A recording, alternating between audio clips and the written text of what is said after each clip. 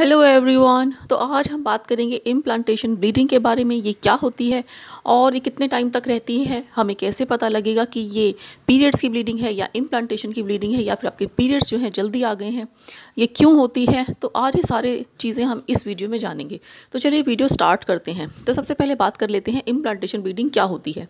तो देखिए, जब आपका भ्रूण जो है यानी कि आपका अंडा और आपके हस्बैंड के जो है शुक्राणु जब मिलते हैं उसको हम बोलते हैं भ्रूण वो बन जाता है जब वो दोनों मिलते हैं।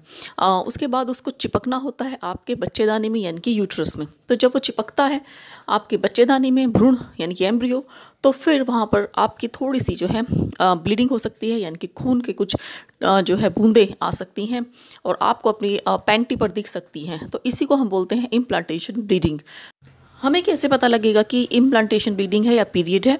आ, तो देखिए इम्प्लांटेशन ब्लीडिंग सबसे पहले होता है कलर जो कलर होता है इम्प्लांटेशन ब्लीडिंग का वो पिंक ब्राउन यानी कि पिंकिश ब्राउन होगा. यानी कि लगभग पिंक कलर का दिखेगा आपको और ज़्यादा डार्क ब्राउन या फिर ज़्यादा रेड नहीं दिखेगा.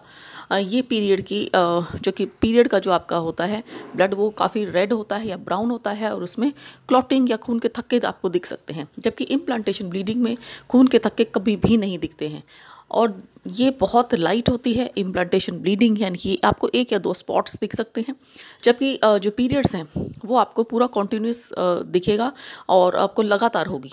अब बात करते हैं तीसरा कि आपको ये है इम्प्लांटेशन ब्लीडिंग जो है सिर्फ़ एक या तीन, एक से तीन दिन तक रहती है, यानी कि एक या दिन, दो दिन या तीन दिन, और वो भी कभी कभी आपको स्पॉट दिखेगा पिंकिश ब्राउन कलर का। और उसमें क्लॉटिंग कभी भी नहीं होगी। जबकि पीरियड्स के जो होगा, वो आपकी लगभग चार से पाँच दिन चलेगा और आपको कॉन्टीन्यूस ब्लीडिंग होगी।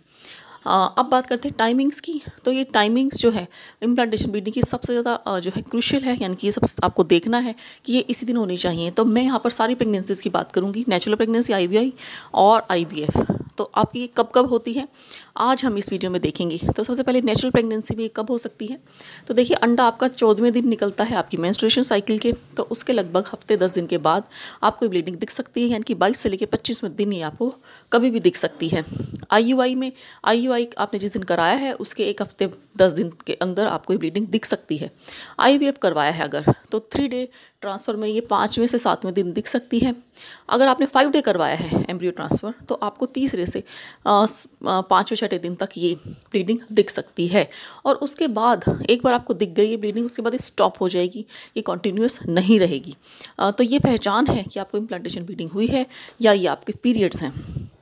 इसके अलावा और भी तरीका है देखने का कि आपको क्रैम्पिंग भी हो सकती है अगर आपको इम्प्लांटेशन ब्लीडिंग है तो उसके साथ आपको इम्प्लांटेशन क्रैम्पिंग यानी कि इम्प्लांटेशन पेन भी हो सकता है, जो कि एक लेफ़्ट या राइट में होगा, और वो भी सिर्फ़ बहुत कम टाइम के लिए होगा, और ये कभी कभी चलता भी है, यानी कि लेफ़्ट राइट लेफ़्ट साइड में अगर है तो पैरों तक भी जा सकता है, और ये भी उसी टाइम पर होगा जब आपकी इम्प्लांटेशन क्रैम्प ब्लीडिंग हो रही है, या फिर अगर आपको ब्लीडिंग भी नहीं है, सिर्फ़ पेन है तो इम्प्लांटेशन पेन भी हो सकता है, जो कि अगेन जो इम्प्लांटेशन ब्लीडिंग का टाइम मैंने बताया है, उसी टाइम पे हो सकता है, और ये एक से तीन दिन तक रह सकता है। तो इसके अलावा, अगर आपको इम्प्लांटेशन ब्लीडिंग के साथ और बाकी प्रेगनेंसी सिम्टम्स भी हैं तो आपको ये कंफर्म होगा कि ये इम्प्लांटेशन ब्लीडिंग ही है। आपकी ब्रेस्ट जो है वो टेंडर हो सकती है, आपका वेजेंडल डिस्चार्ज जो है वो ज़्यादा हो सकता है और थोड़ा सा वाटरी डिस्चार्ज हो सकता है। इसके अलावा आपको मूड स्विंग्स हो सकते हैं, आपका नोज़िया वॉमिटिंग हो सकता है, आपको थकान हो सकती है, आपको किसी एक खाने को ज़्यादा मन कर सकता है, कुछ मीठा खाने का मन कर सकता है ज़्यादा, या फिर आपको भूख बिल्कुल ख़त्म हो सकती है या फिर ज़्यादा लग सकती है, आपको प्यास ज़्यादा लग सकती है, आपको जो है किसी भी चीज़, आपको घबराहट होती है कभी कभी आपको चक्कर आ सकता है। कभी कभी आँखों के आगे अंधेरा छा सकता है, पर सबसे बड़ा सिम्टम थकान का होता है, जो सबसे पहले आता है। या फिर आपको जो बॉडी टेम्परेचर अगर आप मेजर कर रहे हैं, बेसर बॉडी टेम्परेचर होता है, जो कि इम्प्लांटेशन वाले दिन, एक दिन कम होकर उसके बाद ये बढ़ता है। तो उसमें भी अगर आपका नॉर्मली अगर आप बाद में देख रहे हैं इम्प्लांटेशन ब्लीडिंग के कुछ दिनों के बाद तो आपका टेम्परेचर थोड़ा सा ज़्यादा हो सकता है।